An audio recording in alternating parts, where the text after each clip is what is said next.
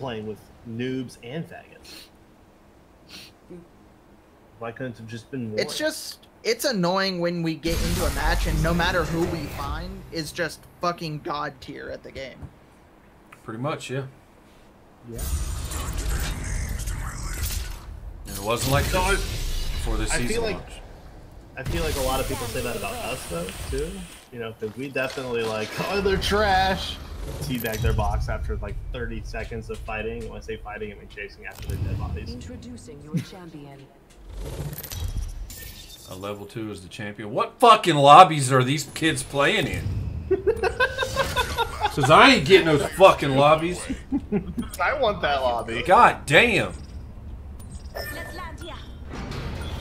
with zero kills as well. No kills. Not a fucking one. She was taking Sorry, she was probably playing Pathfinder before and had 37 kills.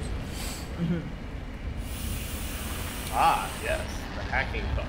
one, two, three, Oh, four, Christ in a basket.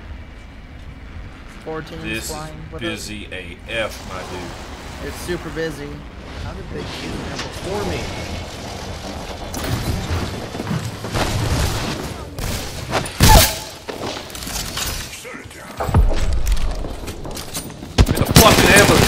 Cunt.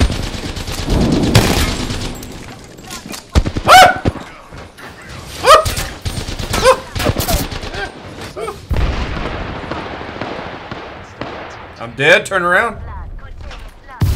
Turn around. Two.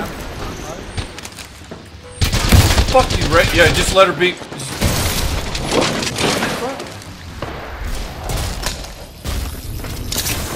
How is that not stopping the res? Did you did you not see that?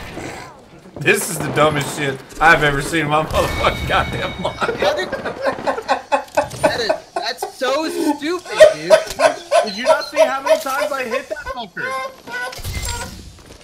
When I punched her, she had shields.